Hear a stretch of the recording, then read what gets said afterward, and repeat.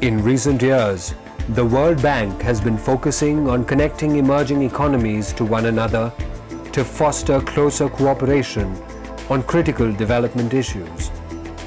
Countries want to learn from other developing countries' successes, but they also want very much to share their own success stories. This is a very important uh, program of the World Bank, uh, which is called South-South uh, Knowledge uh, Exchange. Uh, World Bank is not just a, a financing institution, but we see ourselves as a knowledge broker. India is among the most preferred destinations for IT and IT-enabled services worldwide. And it is now sharing her IT success story with the rest of the world.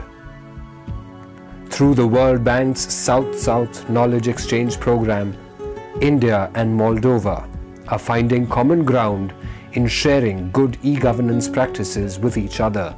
We are here to share our experience and we all deserve a better life, regardless from where we come. Because the technology makes us all equal.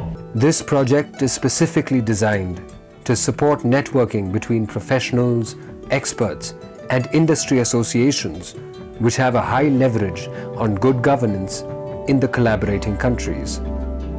We have lots of similarities in our approach to the technology and our approach to the, the solution of the governance issues. A group of e-government leaders and practitioners from Moldova participated in the knowledge exchange to exchange knowledge and skills to promote e-transformation.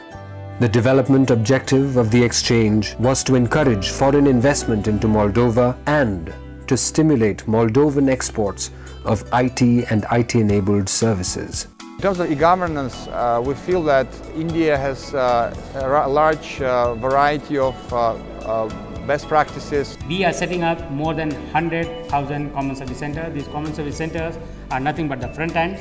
These are telecenters and citizen can go to the telecenter to seek information, to submit their application. In January 2011, e-governance practitioners from Moldova and India initiated talks to begin organizing an exchange. The government of Moldova sent a high-level delegation to India in August 2011.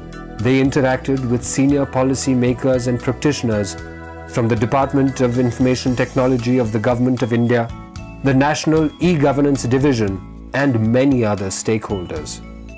In their interaction with the Honorable Minister for Communications and Information Technology, Mr. Sachin Pilot, the exchange participants discussed the details of an MOU between India and Moldova to strengthen bilateral cooperation between the countries. The delegation also visited Bangalore where they interacted with the leadership team of the Center for E-Governance of the Government of Karnataka. During their visit to the Bangalore campus of the Software Technology Parks of India, the delegates were introduced to the best practices in IT industry promotion. The delegates also visited Infosys, Wipro and Genpact, where they discussed the opportunities for these companies to invest in Moldova. We would uh, like to invite Indian companies which are much larger and much more experienced and developed and mature than Moldovan companies to participate uh, in the projects and to help us to, to develop our ideas. The delegates visited the World Bank office in India and exchanged ideas with the local World Bank team working on ICT and e-governance projects. The countries are working together to finalize their Memorandum of Understanding, which is expected to be signed by the end of 2011.